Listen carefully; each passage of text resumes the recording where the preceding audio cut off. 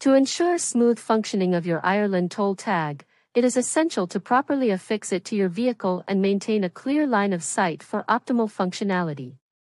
Begin by selecting a suitable location on your windshield, ideally behind the rearview mirror and within the specified guidelines provided by the toll tag provider. Adhesive to set for the recommended time before testing the tag to verify its proper placement and functionality. Clean the chosen area thoroughly with a mild detergent to remove any dirt, dust, or residue that may hinder the adhesion of the tag.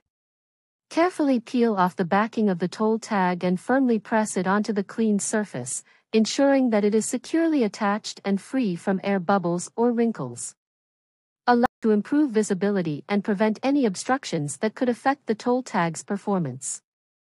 By following these simple steps and ensuring a clear and secure installation, you can maximize the efficiency and longevity of your Ireland toll tag while enjoying a hassle-free driving experience on toll roads.